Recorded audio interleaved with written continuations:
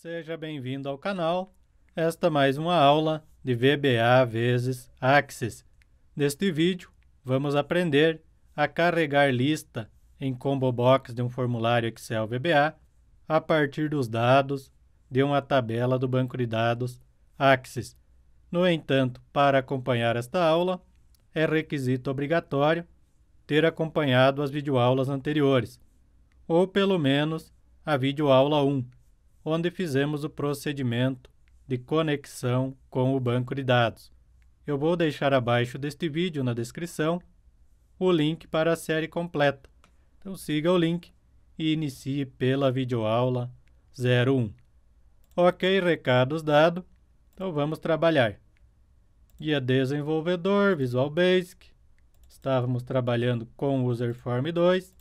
Então vamos inserir uma combo box para a lista de clientes. Userform selecionado. Clico sobre caixa de ferramentas. Escolho caixa de combinação e arrasto para o formulário. Redimensionem para o tamanho que vocês desejam.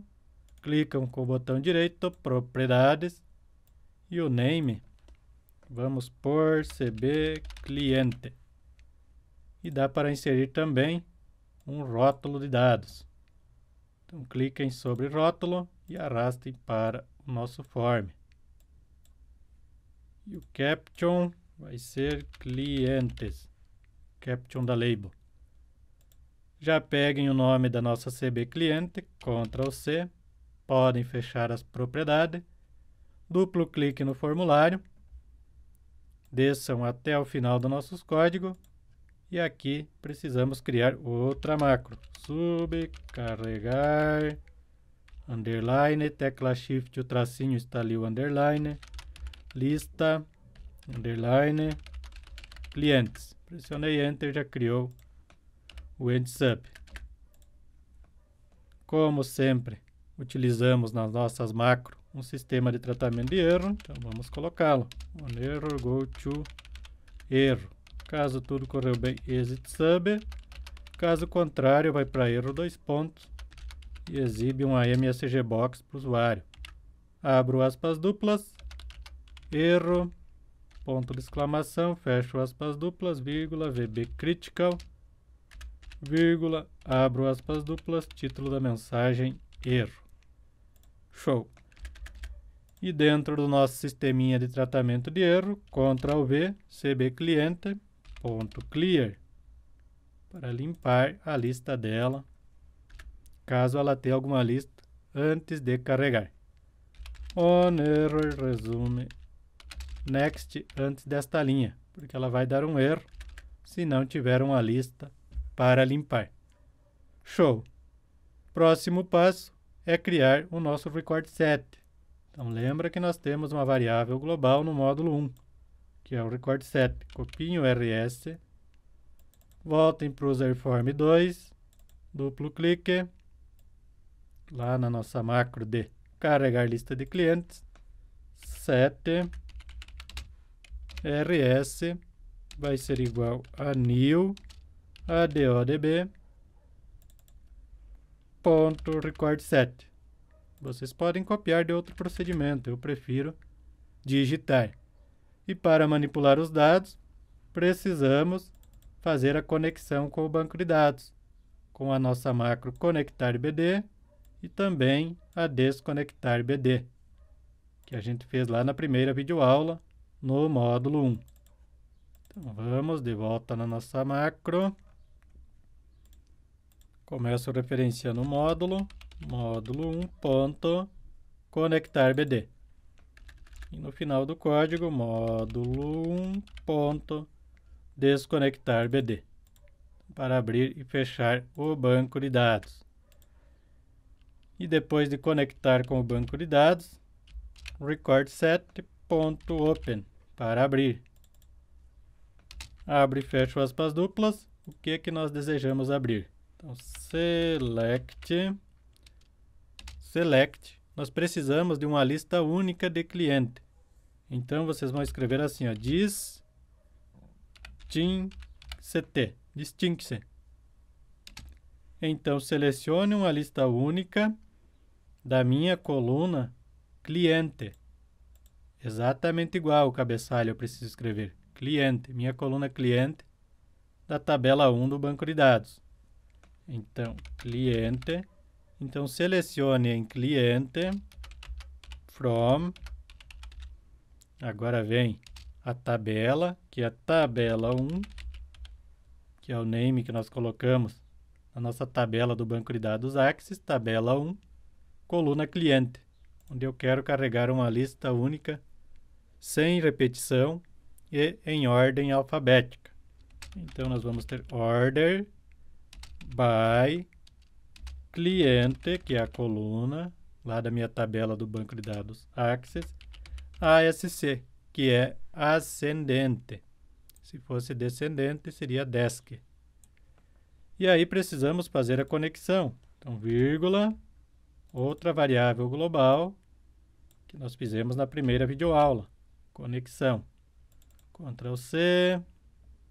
Vamos descer na nossa macro, vírgula, conexão, vírgula, parâmetro add open case set, vírgula, add look read only, somente leitura, é apenas para carregar a nossa lista. Deixa eu voltar aqui que foi meio rápido. Então, cuidem aí os parâmetros. Então, estou passando o seguinte comando. Selecione uma lista única da minha coluna cliente da tabela 1 e traga esses dados em ordem ascendente, ou seja, ordem alfabética. Então, depois de abrir aí o nosso record set, nós vamos fazer um laço para percorrer os dados e transferir para a CB cliente, que é a combo box.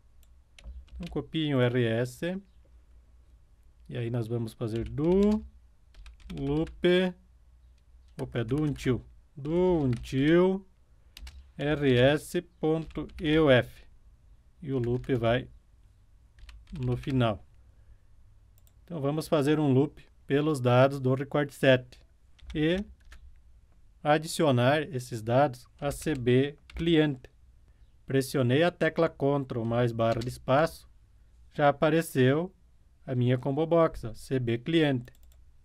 CB cliente ponto add item, nós vamos adicionar então o dado que consta no RS do record set, ponto de exclamação da coluna cliente. Exatamente igual o pessoal precisa escrever. E record set ponto move next para ir para a próxima linha do record set. Então este loop vai ser o responsável por carregar a nossa lista de cliente para Combo Box CB cliente. Depois do loop, podemos fechar o nosso record set. Vocês podem copiar de outro procedimento. Eu prefiro digitar em cada aula. If not rs is nothing, then e end if. E dentro do if, rs ponto close, cuidado com o clone, eu sempre falo isso, e set rs igual a nothing. Desta forma, fechamos a nossa tabela virtual também.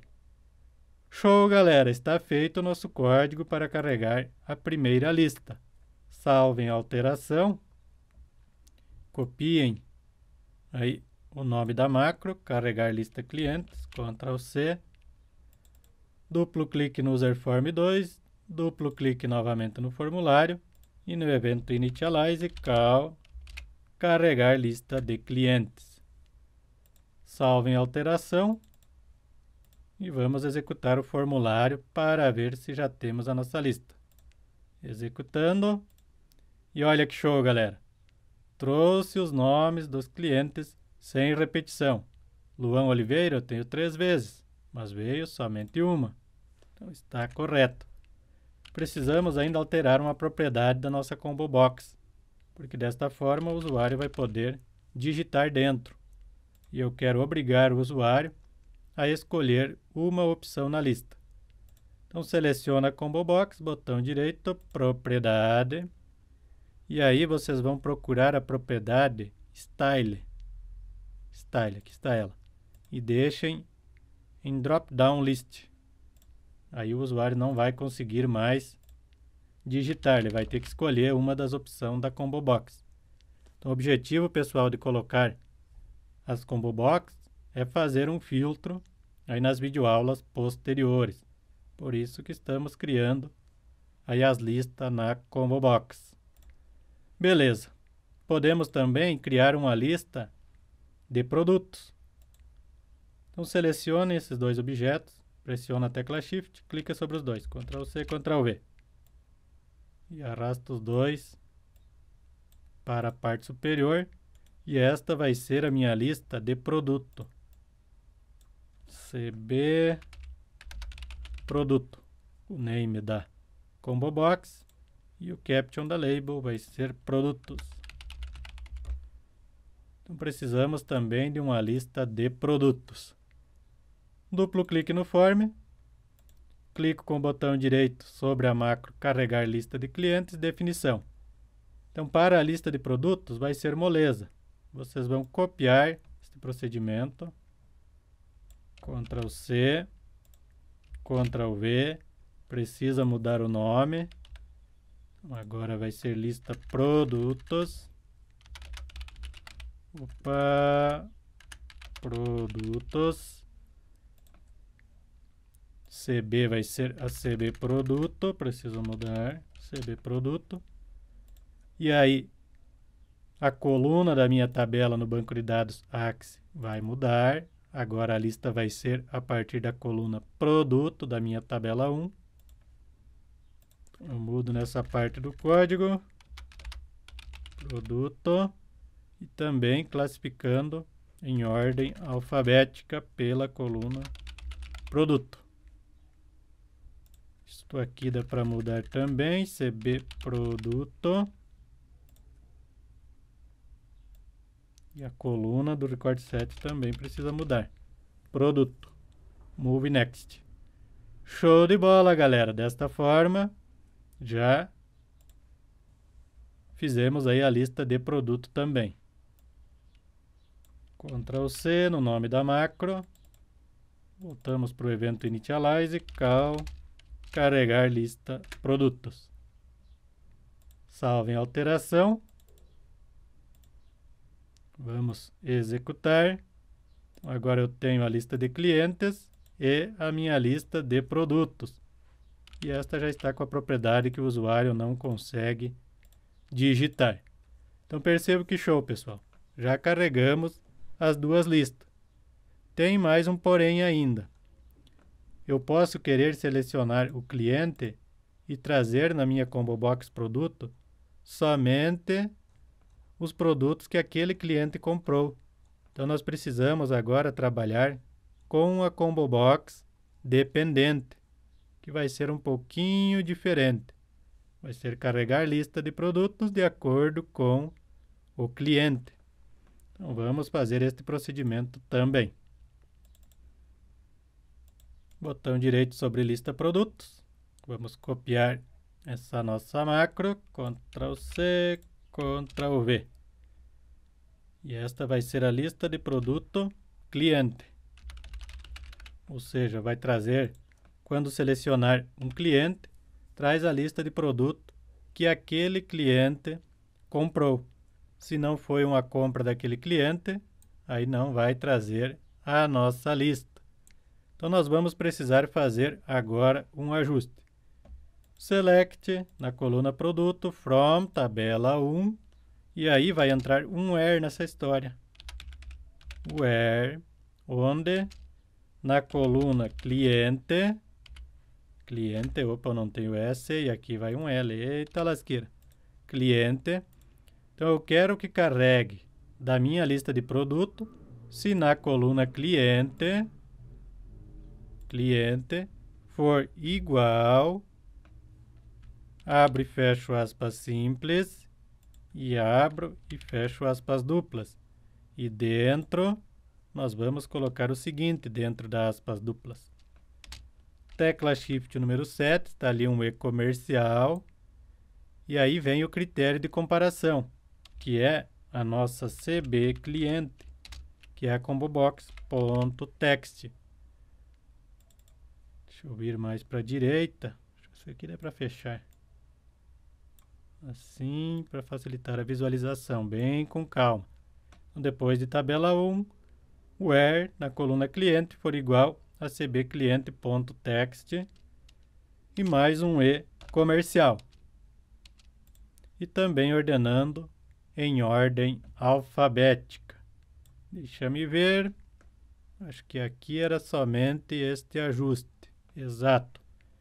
E agora nós precisamos chamar esse carregar lista produtos cliente dentro da nossa combo box, que é a combo box de cliente. Então, quando selecionar um cliente na lista, carrega os produtos que aquele cliente adquiriu. Copie o nome da nossa macro, Ctrl C, no User Form 2, duplo clique na combo box do cliente, e aí nós vamos ter uma condição. If se CB cliente, CB cliente for diferente de empty, que é vazio, then aí eu carrego call carregar lista de produtos cliente, ou seja, eu tenho um cliente selecionado. Caso contrário, else traz a nossa lista de todos os produtos. Call carregar. O colocou cal carregar, pressiono tecla Ctrl mais barra de espaço. Cal carregar lista de produtos, que é toda a lista, caso não tenha um cliente selecionado. Ok. Então, desta forma, nós trabalhamos com as duas listas. Se selecionou um cliente, carrega somente os produtos relacionados àquele cliente. Se não tiver cliente, carrega toda a lista de produto. Salve em alteração. Vamos testar, ver se está funcionando. Então, quando carrego pela primeira vez, traz todos os produtos. Mas se eu escolher um produto, quero ver os produtos que o Luan Oliveira aí adquiriu. Então, eu tenho produto 1, somente produto 1. E olha que show, galera. Fizemos a nossa combo box dependente. No entanto, se eu trocar, teste, o teste tem aqui, tem aqui. É só o produto teste. Olha que show. Mas para conseguir limpar a combo box, nós temos outro detalhe. Aí nós vamos precisar retirar do style. Botão direito, propriedade. Então tem esse porém aí também. Deixa eu ver o style, onde é que está? Style. Combo. Então vamos lá. Selecionei Luan Oliveira, ficou somente produto 1. Limpei, retornou toda a lista de produto. Então, posteriormente, vamos poder fazer um filtro pelo produto, pegando todos os clientes ou pegando o cliente e filtrando pelo produto que ele adquiriu. Então, na próxima aula, vamos trabalhar com o procedimento de filtro. Dá para colocar esse meu botão carregar um pouco mais para cima. Na realidade, ele vai ser o filtrar aí da próxima videoaula. Pessoal, vamos finalizar essa videoaula por aqui. Se vocês gostaram, deixem o like aí no vídeo se inscrevam no canal, que eu vou agradecer muito a contribuição de vocês. E até a próxima aula.